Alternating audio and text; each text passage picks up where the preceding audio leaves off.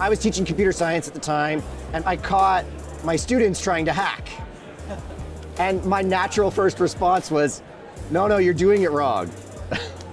right around the same time, we had a university speaker come in to talk about uh, careers and universities that offered computer science programs. And literally the recruiter came into my classroom and, and they recruited me instead.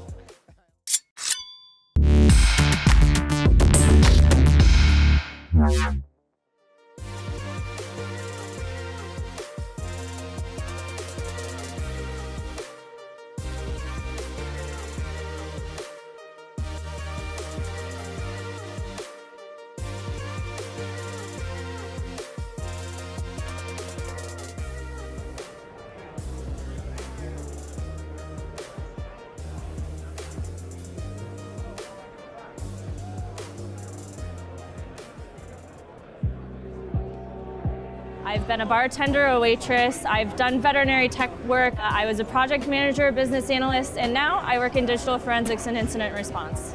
So before I worked in cybersecurity, I used to work in graphic design, and now I, I now work as a, a security analyst uh, for a non for a large nonprofit. So I used to be a makeup artist for many years. And right now, I am a penetration tester for Rapid7. I've been doing that for the past three years.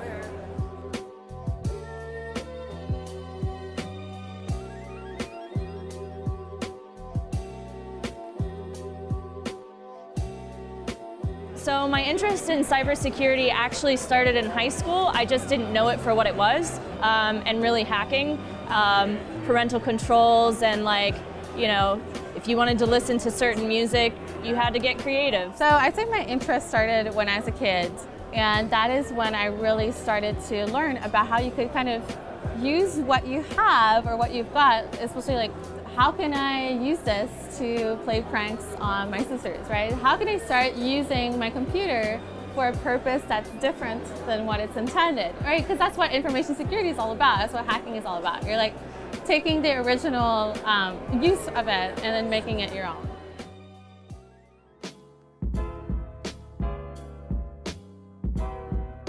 I've had teachers, public school teachers, get into security. Uh, for them, it was their drive to just do more, to always like that itch.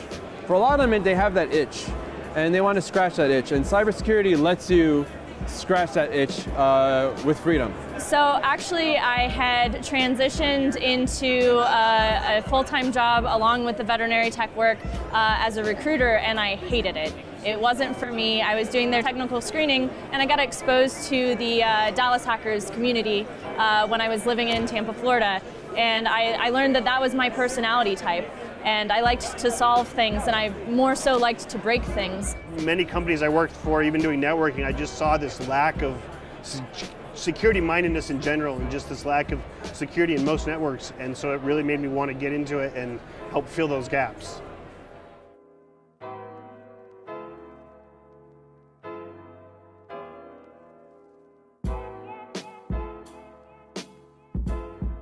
So I think having an indirect path into cybersecurity gave me an advantage in certain ways um, that I'm very, very thankful for. From a teacher, the transferable skills is personal management, organization, time management, and reporting and everything like that. When you're a makeup artist, you have to be able to have good, great conversation, build rapport with people. You have to make them feel comfortable. That ability is something that's super important because at the end of the day, I don't want to just do a pen test and leave and then nothing really changes. I want to like have that ability to communicate how important it is that there be a change for whatever I found. Previously, I did a lot of customer service, and this sounds kind of strange to say in a in an industry where it's very technical, but I think actually having a good background in dealing with people has actually helped me progress because I, I'm, I think I'm pretty good at taking a technical concept and communicating to non-technical people.